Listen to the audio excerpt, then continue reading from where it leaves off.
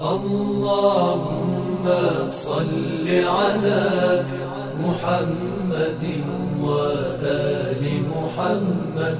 اللهم صل على محمد وآل محمد.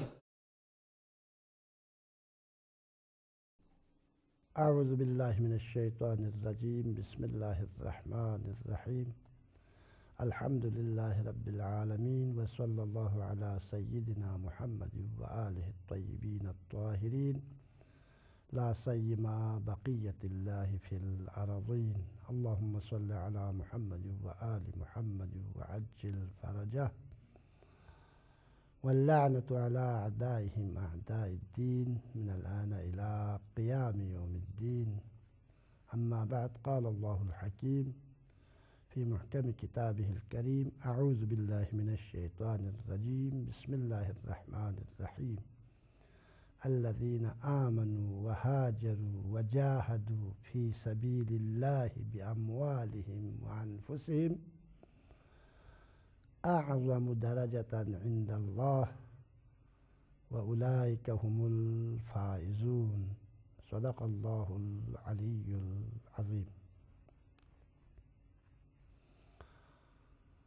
آج ربیع الاول کی بارہ تاریخ ہیں اور ربیع الاول کی بارہ تاریخ کو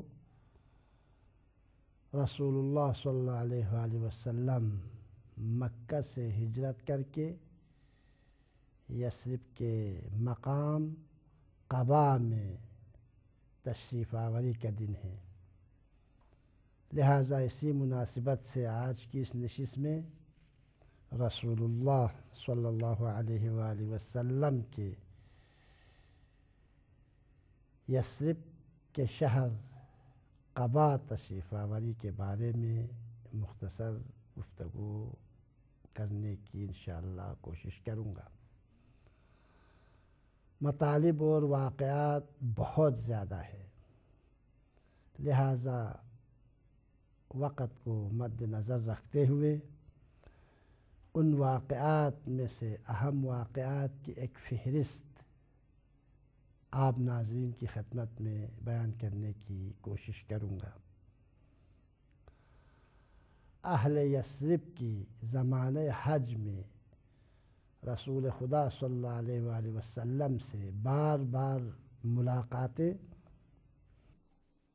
قرآنی آیات اور کلام اللہ کی تأثیر اور خود پیغمبر اکرم صلی اللہ علیہ وآلہ وسلم کی ذاتی اور معنوی کشش اور جاذبیت اور دین مبین اسلام کے بارے میں رسول اللہ صلی اللہ علیہ وآلہ وسلم کی پرمغز اور مفید گفتگو اس امر کا باعث بنی کہ یسب کے دو بڑے قبیلے اوس و حجرج خزرج کے افراد خوشی خوشی سے دین مبین اسلام میں شامل ہو جائے اور انہوں نے ان مذکورہ عوامل کی بنیاد پر خوشی کے ساتھ اسلام کو قبول کر لیا۔ اسی لیے رسول اللہ صلی اللہ علیہ وآلہ وسلم نے کفار قریش کے مظالم سے بچانے کے لیے خداوند متعال کے حکم سے مسلمانوں کو یسرف کی طرف ہجرت کرنے کا حکم دیا۔ جب مکہ کے اکثر مسلمان یسرف منتقل ہو گئی اور یسرف اسلام کا مرکز بنا، تو قریش کے سردار مضطرب اور پریشان ہو گئے۔ اور انہوں نے دار الندوہ جو قریش کے مشاورتی کونسل تھا حقیقت میں، قریش کے سردار دار الندوے میں جمع ہوئے۔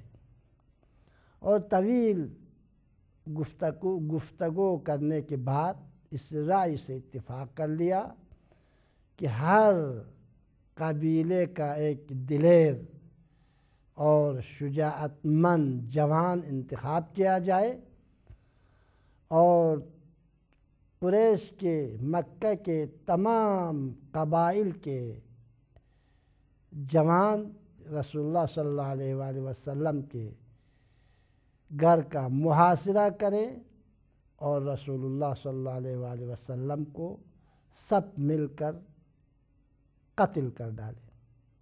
انہوں نے کہا اس صورت میں دو صورتوں سے خالی نہیں ہے۔ پہلی بات تو یہ ہے کہ خاندان بنی عبد مناف، بنی ہاشم کا خاندان، قریش کے تمام قبائل سے وہ مقابلہ نہیں کر سکتے۔ لہذا طبی طور پر وہ خون بہا کا مطالبہ کریں گے۔ اور اگر بنو عبد مناف خون بہا کا مطالبہ کرے، تو سب مل کر خون بہا ادا کریں گے۔ اس طرح رسول اللہ صلی اللہ علیہ وآلہ وسلم سے جو خطرہ ہے، وہ رفع ہو جائے گا اور پھر ان کی سرداری اور بت پرستی قائم و داہم رہے گی۔ اور خداوند متعال نے وہی کے ذریعے رسول اللہ صلی اللہ علیہ وآلہ وسلم کو آگاہ کیا قریش کے منصوبے سے، قریش کے پیغام سے رسول اللہ وہی کے ذریعے آگاہ ہوئے تو حضور صلی اللہ علیہ وآلہ وسلم نے حضرت علی ابن ابی طالب علیہ السلام کو بلایا اور علی ابن ابی طالب علیہ السلۃ والسلام سے فرمایا، آج کی رات تم میرے بستر پر لیٹ جاؤ، میرے بستر پر آرام کرو اور سر کے اوپر چادر ڈال کر سو جاؤ تاکہ قریش یہ فکر کریں کہ میں میرے بستر پر سویا ہوا ہوں۔ یہ کہہ کر امیر المؤمنین علی ابن ابی طالب علیہ السلاۃ والسلام کو سے کچھ دوسرے سفارشات کیے، امانات آپ کے حوالے کر دیے اور کچھ احکام اور سفارشات کرنے کے بعد رسول اللہ صلی اللہ علیہ وآلہ وسلم بیت السرا سے، بیت النبی سے، بیت وحی سے رات کی تاریکی میں نکل گئے۔ جب آپ نکل رہے تھے تو آپ نے سب سے پہلے سورہ مبارکہ یاسین کی پہلی نو آیت، نو آیتوں کی تلاوت کی اور اس کے بعد گھر سے باہر تشریف لے آئے اور گھر سے باہر تشریف لانے کے بعد حضور صلی اللہ علیہ وآلہ وسلم نے مٹھی برخاک دست مبارک میں اٹھائی اور معاشرہ کرنے والوں کی طرف پھینک دی۔ اس طرح آپ نے ہجرت کا آغاز کیا اور رات کی تاریکی میں دولت سرا سے نکل کر بیت وحی سے نکل کر غار سور کی طرف چلے گئے۔ اور جب قریش کو یہ معلوم ہوا کہ رسول اللہ صلی اللہ علیہ وآلہ وسلم گھر سے تشریف لے گئے ہیں، تو انہوں نے مکہ سے یسرب کی طرف جانے والے تمام راستوں کی ناکہ بندی کر دی اور تمام راستوں کی نگرانی کرنے لگے۔ لیکن انہوں نے جتنی کوششیں کی، اپنے مقصد میں کامیاب نہ ہوئے۔ نتیجے میں تین دن کی کوششوں کے بعد وہ تھک ہار کر بیٹھ گئے، مایوس ہو گئے۔ اور جب وہ رسول اللہ پر دست رسی سے محروم ہو گئے تو وہ مجبور ہو کر بیٹھ گئے۔ اور تیسری رات اور ان تینوں دنوں اور راتوں میں حضرت علی ابن ابی طالب علیہ السلاۃ والسلام حضور صلی اللہ علیہ وآلہ وسلم کو کھانے پینے کی چیزیں پہنچایا کرتے تھے۔ اور چوتھی رات رسول اللہ صلی اللہ علیہ وآلہ وسلم نے علی ابن ابی طالب علیہ السلاۃ والسلام کو کچھ دوسرے کچھ احکام اور عوامر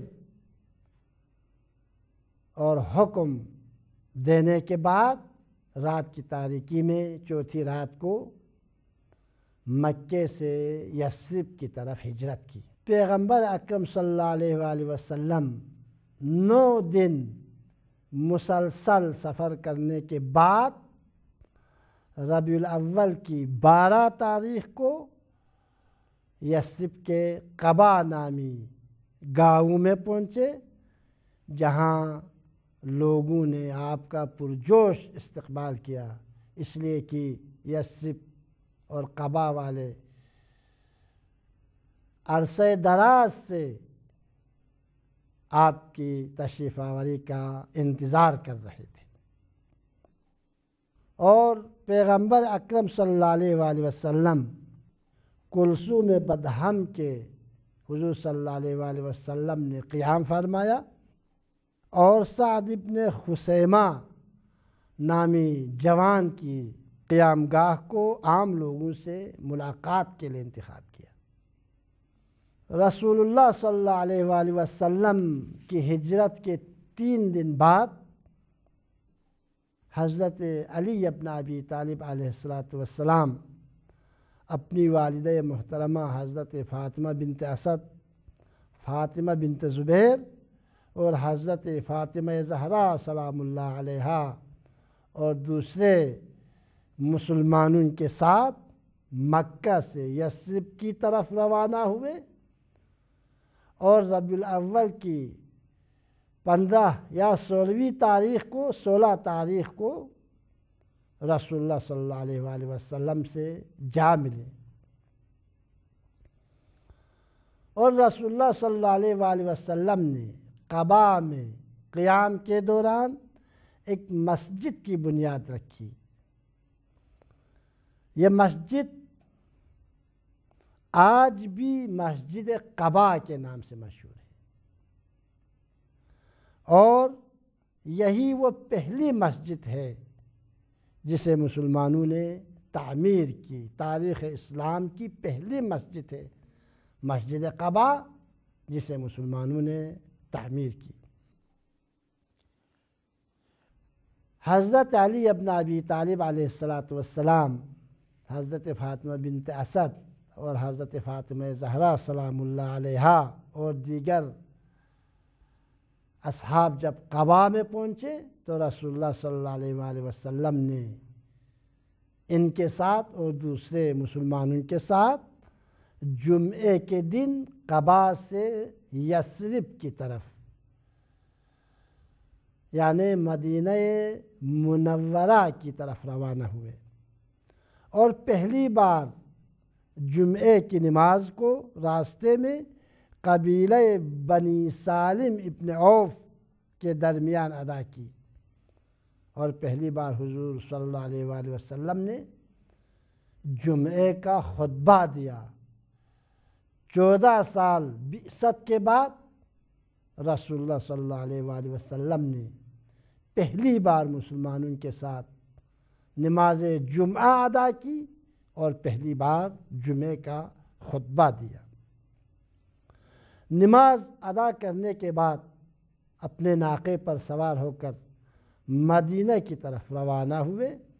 راستے میں جو قبائل تھے مدینہ اور قبا کے درمیان، انہوں نے بہت کوشش کی کہ رسول اللہ ان کے درمیان رہے، لیکن رسول اللہ مسلمانوں کے ساتھ ناقے پر سوار ہو کر یسب کی طرف۔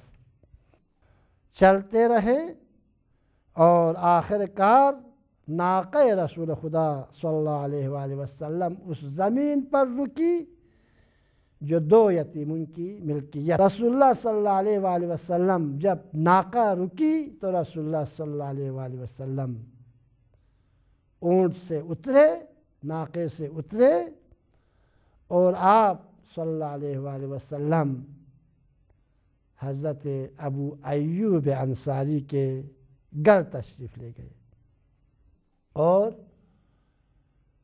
وہیں قیام فرمایا۔ تو رسول اللہ صلی اللہ علیہ وآلہ وسلم کے یسرف کے شہر میں پہنچنے کے بعد یسرف کا نام بدل کر مدینت الرسول رکھا گیا۔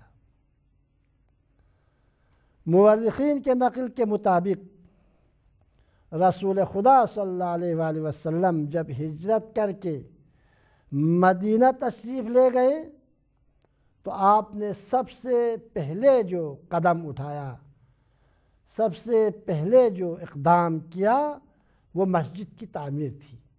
مسجد النبی کی تعمیر تھی۔ جس طرح قبا میں پہنچنے کے بعد سب سے پہلا اقدام آپ نے مسجد قبا کی تعمیر کے حوالے سے اٹھایا تھا، بالکل اسی طرح۔ مدینت الرسول میں پہنچنے کے بعد سب سے پہلا اقدام مسجد النبی کی تعمیر تھی۔ اور یہ مسجد اس جگہ تعمیر کی گئی جہاں آپ کی ناکہ زمین پر بیٹھی تھی۔ اور اس زمین کو حضور صلی اللہ علیہ وآلہ وسلم نے دس دینار کے عوض ان یتیم بچوں سے خریدی گئی۔ تاریخ کے نقل کے مطابق مسجد کے کونے میں کمرہ نما ایک جگہ مخصوص کی گئی تھی تاکہ وہ نادار اصحاب جن کے پاس سر چھپانے کے لیے کوئی جگہ نہ تھی یہاں قیام پذیر ہو۔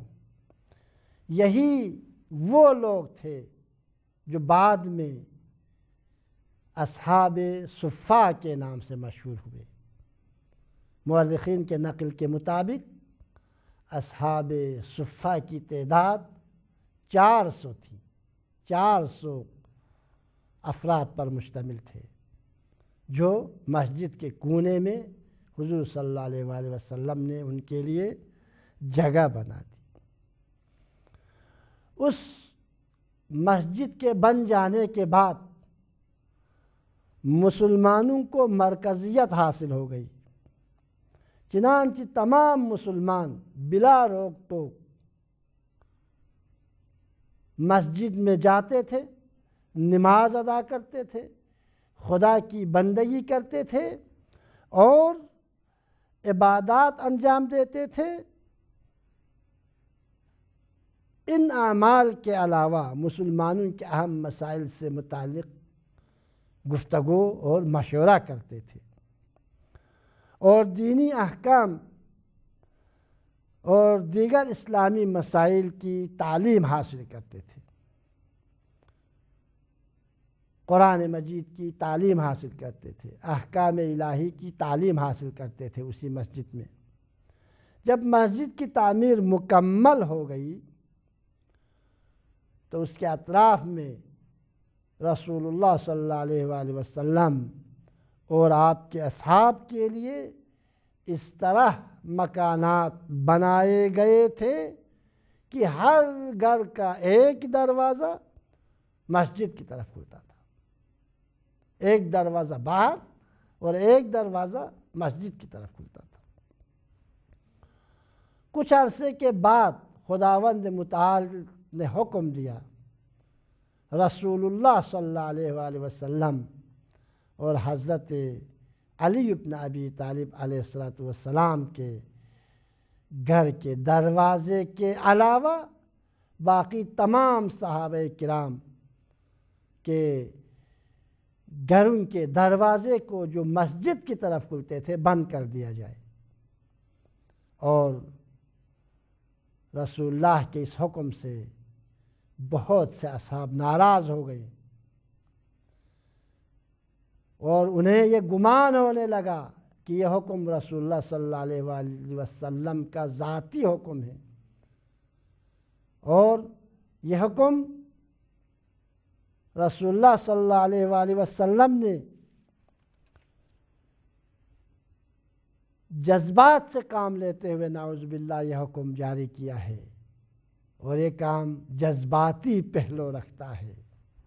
جب رسول اللہ نے محسوس کیا کہ مہاجرین و انصار اور مسلمان ناراض ہیں تو رسول اللہ صلی اللہ علیہ وآلہ وسلم نے فرمایا اس حکم میں میرا کوئی داخل نہیں ہے۔ میری ذاتی رائے کا کوئی داخل نہیں ہے اس میں۔ میں صرف خدا کے حکم کا مجری ہوں۔ میں رسول ہوں جو کچھ وہی کے ذریعے اللہ تعالیٰ مجھ تک پہنچائے۔ میں اسی کو تم لوگوں تک منتقل کرتا ہوں، نقل کرتا ہوں۔ اور اس حکم میں میری کوئی ذاتی رائے دخیل نہیں ہے۔ مسلمانوں کو مطمئن کرنے کی کوشش کی اور مطمئن کیا۔ یقیناً رسول اللہ صلی اللہ علیہ وآلہ وسلم بھی یہی چاہتے تھے کہ مسلمان اس سعادت سے، صحابہ کرام اس سعادت سے، مہاجر و انصار اس سعادت سے محروم نہ ہو جائیں لیکن خدا کا رسول تھا۔ رسول اللہ خدا کے حکم کی تعمیل کرنا ان کی ذمہ داری تھی۔ لہذا جب یہ حکم ملا تو اس حساس موقع پر ابھی تازہ مسلمان ہوئے تھے۔ مکے سے ہجرت کر کے مدینہ میں آئے تھے۔ بہت سے اور بھی مشکلات تھے۔ حساسیت بہت زیادہ تھی، لیکن ان تمام چیزوں کے ہونے کے باوجود رسول اللہ صلی اللہ علیہ وآلہ وسلم نے خدا کے حکم کو پہنچانے میں سستی کا مظاہرہ نہیں کیا۔ اس سے پتہ چل جاتا ہے کہ رسول اللہ صلی اللہ علیہ وآلہ وسلم عوامر الہی کے سامنے کس طرح سر تسلیم خم کرتے تھے۔ حق بھی یہی تھا، چونکہ خدا کا رسول تھا۔ خدا کے پیغام اور احکام کو پہنچانے والا تھا۔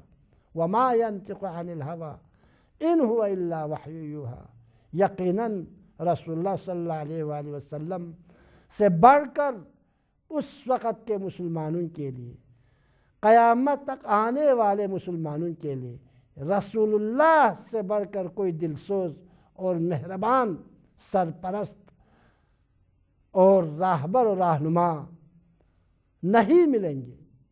پیغمبر مومنین کی ہدایت کے لیے، پیغمبر مومنین کی مادی اور معنوی ترقی کے لیے سب سے زیادہ دلسوز اور مہربان تھے۔ لیکن کیا کیا جائے؟ عوامر الہی کے سامنے سر تسلیم خم کرتے ہوئے حکم دیا تمام مسلمانوں اور تمام صحابہ کرام کا دروازہ جو مسجد کی طرف کھلتا ہے، بند کر دیا جائے، سوائے خود حضور صلی اللہ علیہ وآلہ وسلم اور آپ کے حقیقی جانشین اور وسیع اور خدا کی حجت علی ابن ابی طالب علیہ السلاۃ والسلام کے علاوہ۔ رسول اللہ صلی اللہ علیہ وآلہ وسلم نے گرچی مدینہ پہنچنے کے بعد اسلامی حکومت تشکیل دی اور سرکاری سطح پر تمام لوگوں نے رسول اللہ صلی اللہ علیہ وآلہ وسلم کو حاکم کے طور پر تسلیم کر لیا۔ لیکن پھر بھی رسول اللہ صلی اللہ علیہ وآلہ وسلم نے مسلمانوں کے درمیان وحدت و اتفاق کو مزید مستحکم کرنے کے لیے ایک اور اہم قدم اٹھایا۔ وہ قدم اخوت و برادری کا قدم تھا۔ چنانچہ تاریخ نقل کے مطابق رسول اللہ صلی اللہ علیہ وآلہ وسلم نے مہاجرین کے مشکلات کو حل کرنے کے لیے، مہاجرین کے مسائل کو حل کرنے کے لیے، ہجرت کے بعد، مدینہ پہنچنے کے بعد، مسجد النبی کی تعمیر کے بعد ایک اور دانش مندانہ قدم اٹھایا اور وہ یہ ہے کہ آپ نے مہاجر اور انصار کے درمیان رشتہ اخوت و برادری قائم کر لی۔ اور رشتہ اخوت و برادری برقرار کرنے کا حکم دیا۔ ایک مہاجر، ایک انصار کو آپس میں بائی بائی قرار دیا، بائی قرار دیا۔ اور حکم دیا رسول اللہ صلی اللہ علیہ وآلہ وسلم نے تأخو فی اللہ اخوینی اخوین۔ راہ خدا میں، اللہ کی خوشنودی کے لیے دو دو مل کر بھائی بن جاؤ۔ ایک مہاجر، ایک انصار۔ جب عقد اخوت جاری کر لی رسول اللہ صلی اللہ علیہ وآلہ وسلم نے، ان بھائیوں کے وظائف اور مقررات کو بھی مشخص کر دیا۔ ان کے قانونی وظائف کو بھی معین کر دیا۔ جب مہاجر و انصار کے درمیان اخوت اخوت و برادری قائم ہو گئی تو رسول اللہ صلی اللہ علیہ وآلہ وسلم نے علی ابن ابی طالب علیہ السلاۃ والسلام کے ہاتھ میں ہاتھ رکھ کر فرمایا وہ عقی اور یہ علی میرا بھائی ہے۔ حضور صلی اللہ علیہ وآلہ وسلم نے علی ابن ابی طالب علیہ السلاۃ والسلام کو اپنے بھائی کے طور پر مہاجر انصار کے لیے معرفی کیا۔ اس طرح تاریخ اسلام کا وہ عظیم ہجرت اور مسلمانوں کی عظیم حکومت کی بنیاد رکھی گئی اور رسول اللہ صلی اللہ علیہ وآلہ وسلم نے یسرف پہنچ کر ایک اور قدم اٹھایا اور ایک بہت ہی اہم واقعہ ہے۔ وہ یہ ہے کہ رسول اللہ کے ہجرت کر کے قبا میں پہنچنے کے دن سے اسلامی کیلنڈر اور اسلامی تاریخ کا دن شروع ہوتا ہے۔ اور جس دن رسول اللہ صلی اللہ علیہ وآلہ وسلم قبا میں پہنچے ہیں، وہی دن اسلامی سن اور اسلامی تاریخ کا پہلا دن۔ خداوند مطالع کی بارگاہ میں ہم دعا کرتے ہیں کہ ہم سب کو